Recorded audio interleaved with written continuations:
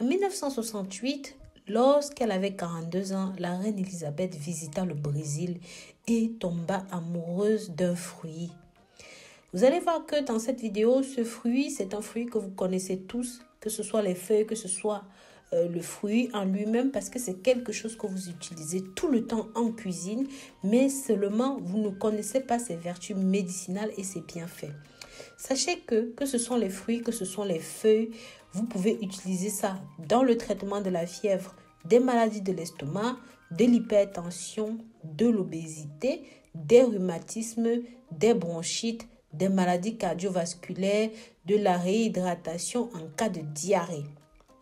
Ça a une action antioxydante, c'est apaisant, c'est aussi anti-inflammatoire et surtout très diurétique. Elle adora tellement ce fruit qu'elle demanda qu'on lui livre des boîtes et des boîtes entières de ceci dans son yacht avant son retour aux îles britanniques.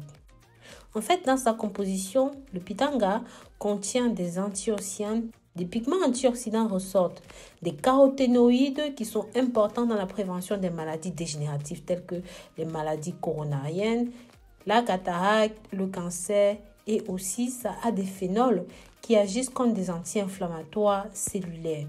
Certaines de ces substances agissent sur le cancer en protégeant l'ADN cellulaire, par exemple contre les mutations qui pourraient conduire à la formation de ce dit cancer. Le pitanga contient des vitamines, des substances chimiques dans sa composition qui ont des effets bénéfiques sur la santé. Ça améliore les défenses de l'organisme et même ça permet de lutter contre les micro-organismes qui l'attaquent de l'extérieur. C'est aussi bon contre les radicaux libres.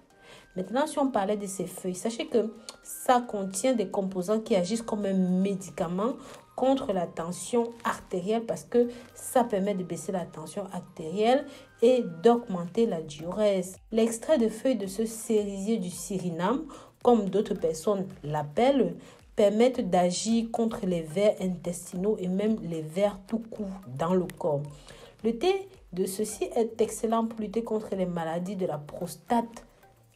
D'accord? Ça permet de normaliser votre prostate et ça permet, comme on a dit plus haut, de lutter contre la tension artérielle.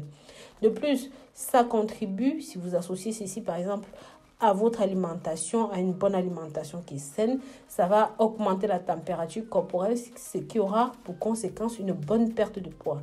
Les feuilles du cerisier du Suriname contiennent une substance qu'on appelle pitangine, qui est idéale pour les diabétiques parce que ça baisse le taux de sucre dans le sang et ça apaise les crises de diabète. Le pitanga ou encore le piment fort, tel que nous, les Africains, nous l'appelons, est riche en vitamine A. Ça contient de lycopène. C'est une substance qui combat le vieillissement prématuré et même le cancer. Sa préparation et sa consommation est très simple. Avant de passer à ce détail, pensez nous dire de là où vous regardez cette vidéo, de quel pays est-ce que vous me suivez. Pensez aussi à partager ce contenu sur Facebook et même sur WhatsApp et n'hésitez pas à vous abonner ici. Comme je disais, pour faire un thé, c'est très simple. D'accord Comment faire votre Vous avez besoin comme ingrédient de 3 cuillères à soupe de feuilles de pitanga séchées ou même deux feuilles fraîches si vous en avez un pimenti directement chez vous, hein, ce qui est très courant en Afrique. Vous avez aussi besoin d'un litre d'eau. Mettez votre litre d'eau à bouillir. Dès que ça bout, ajoutez vos feuilles. Attendez un petit peu, quelques minutes, 2, 3, 4, 5 minutes et éteignez le feu. Faites couvrir la casserole. Maintenant, vous pouvez prendre ceci tout au long de la journée. S'il s'agit de traiter la prostate ou même de normaliser la pression artérielle, de lutter contre la glycémie, consommez donc ce thé pendant 30 jours. Effectuez ensuite des tests auprès de votre médecin pour voir l'évolution ou même la différence entre l'avant et l'après. Si vous voyez que ça a fait bon effet, vous pouvez stopper pendant trois mois avant de recommencer le traitement parce que ce thé, comme on l'appelle thé à la série du Suriname, ne doit pas être consommé de manière exagérée ni même pendant une longue période d'affilée. Ça peut entraîner des pertes importantes de potassium.